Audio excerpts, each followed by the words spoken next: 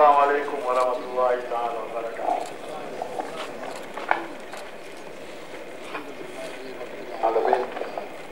Wassalatu wassalamu ala ashrafi anbiyai wal mursalin. Amma baad. Baada ya kumshukuru Mwenyezi Mungu na kumtakia rehema kipenzi chetu Muhammad sallallahu alaihi wasallam, kwa kweli nakosa maneno kusema kama hili la leo, na uzito unakuja kwa sababu mashehe wako wapo hapa. Unajua kila maeneo yana wenyewe. Ukienda kwenye majukwaa yetu ya siasa kule, tuna mengi sana ya kusema, lakini anaposhikizenga shekhe wakubwa kama hawa pata nafasi kidogo na wasiwasi, kwa nini niseme au wapi nianzie, lakini nimwombe Mwenyezi Mungu anipe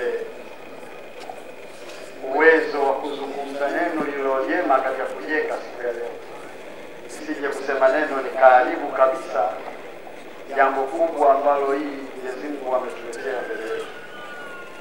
Kwanza kabisa nimpe pole sana rafiki yangu Bwana na familia yake yote na rafiki zake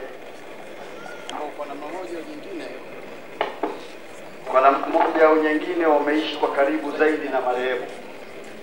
Maana kama alivyosema mwenyekiti wangu, unajua kufiwa kuna namna nyingi. Kuna mtu anafiwa alafu anasikia kwamba nimefiwa, lakini kuna mtu anafiwa anapata taarifa kwamba amefiwa. Yuko kwa namna nyingi, lakini mwenzetu Tare amefiwa mwenzetu wale wa familia yake ya Wasafi kina Diamond eh, kaka yangu mkubwa Fela wanakuwa wamefiwa sana, mwenzao ambaye alikuwa anamfanya Tare apate furaha ya kufanya kazi. Kwa hiyo jambo hili ni kubwa sana, ndugu zangu, na mimi binafsi nimwombe sana Mwenyezi Mungu amjalie nguvu ndugu yetu katika kipindi kizito anachopitiwa sababu ni maneno ya Mwenyezi Mungu alipokuwa amemwelekeza mtume wetu Muhammad sallallahu alaihi wasallam awaambie wana- wanaoamini. Maana Mwenyezi Mungu amezungumza na watu wa namna mbalimbali. Kuna maneno anatuelekeza Waislamu na kuna maneno anaongea na ulimwengu na kuna maneno anazungumza na pia hata ndani ya Waislamu wako ambao hawajaamini, au sio? Kwa hiyo ni mambo makubwa sana, lakini naambia katika mitihani mikubwa ambayo ni mapenzi binadamu ni juu ya mambo makubwa matatu. Kama nitakosea, shehe, utanisahisha.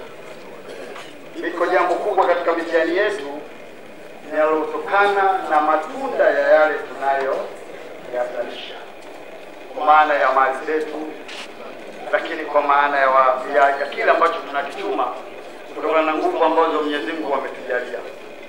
Sasa Mwenyezi Mungu akikunyima hicho, yani mkubwa sana. Unaweza ukawa na kipato kikubwa ukajisahau wakati mwingine usimjue Mwenyezi Mungu wako, Kile Mungu akishachukua kipato kile, unaingia mtihani. Huu ni mtihani mmojawapo, lakini mtihani mwingine ni mtihani uhifadhiwa katika hali za watoto wetu. Maana leo hii unajua watoto wakati mwingine anaweza kufanya hata mtu akaachana na mkewe. Kwa sababu ya mtoto wako tu, anamzungumzia mkeo vibaya au anakuletea maneno yasiyofaa.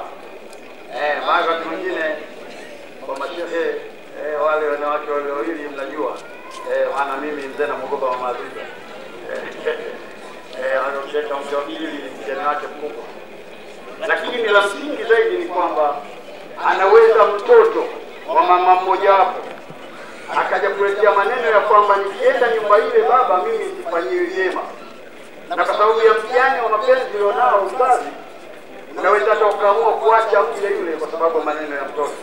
Mwenyezi Mungu atuondoe katika kundi hilo la kusikiliza na kuamini maneno yenye fitna ndani yake. Lakini liko gumu la tatu la kupoteza kitu ambacho kina thamani kubwa katika maisha yako, ambacho sisi binadamu tumeki- tumekiona kwamba kinafaa kupewa nafasi ya kuwa mke au mume katika familia. Mtihani mkubwa sana huko.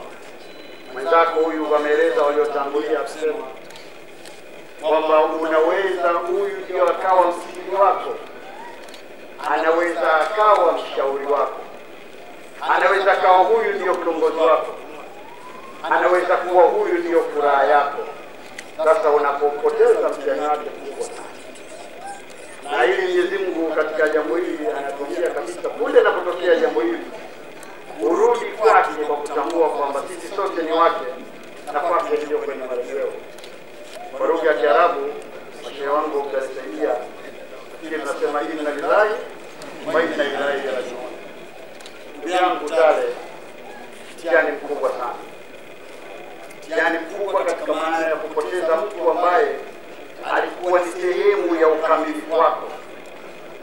Uislamu katika kitu kinachoweza kusaidia kumwona Mwenyezi Mungu. Ukiachilia mbali kumfuata mtume wetu Muhammad sallallahu alaihi wasallam, lakini jambo lingine kukamilika kwa dini yako.